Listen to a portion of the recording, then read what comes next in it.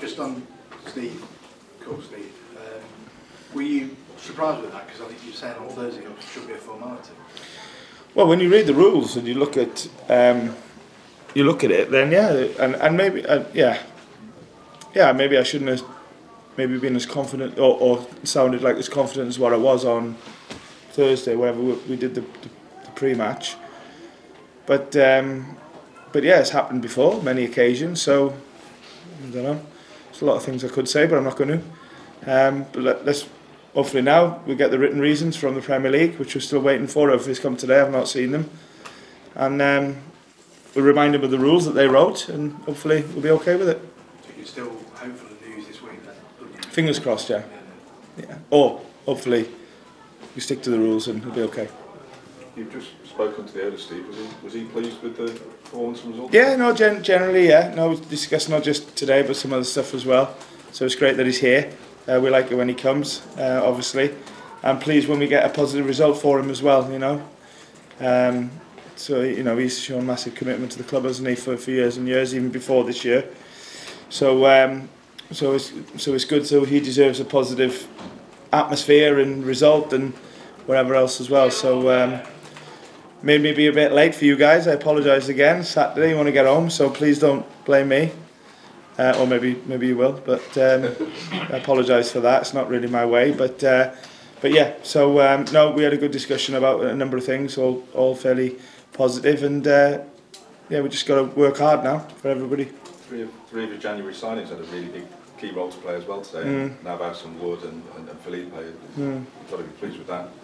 Yeah, it's what you want. You want you want your new players to settle in and have big moments in games. Obviously, Keylor had a great mo- few moments against Leeds. He did did as well today in the second half. Um, calmest guy in the dressing room, you know, and uh, um, yeah, no, pleased. So, um, but that's what you want. It's good. Like I said before, when new players come in, you, they want to do well because they want to show that that they belong here and who they are. Even someone like Keylor at his age and what he's done.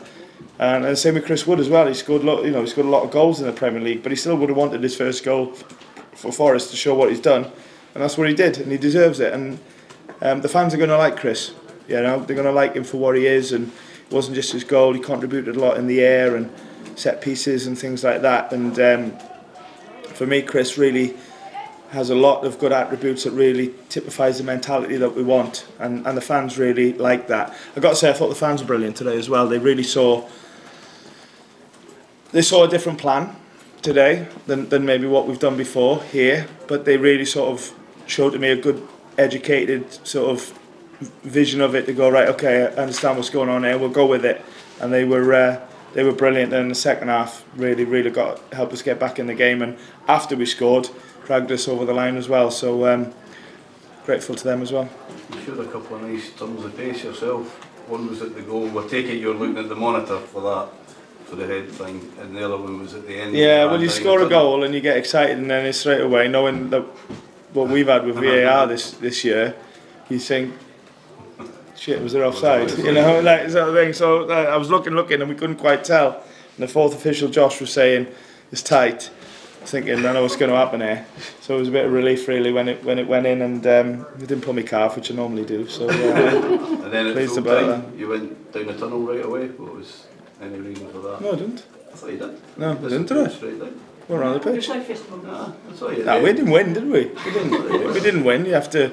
You have to win. Um, positive result, yeah, but that's all it is—a draw. You know. So my legs are stiff today as well. I played padel the other day. Did To be fair, so I had to be careful. Did you win? Yeah, no, got beat. There you go. Who beat you? The, the Portuguese stuff. Yeah. yeah. it's their game, isn't it? Yeah, there you go. Right. Safe journey. Sorry you're late. Sorry. Sorry, sorry, the, uh, the, the to-do on the touchline over at Haaland was that your assistant's, um, Not sure. Uh, not sure. I was I was focused on, on the game. Obviously, I know we got let down by, by VAR on our goal, but maybe they did a good job on that one. I hope they did. Anyway, I've not seen it, but uh, I, I don't really know to be honest. I was um, focused on focused on the pitch. Thank, you. See you now. Sorry, sorry for being late. Sorry.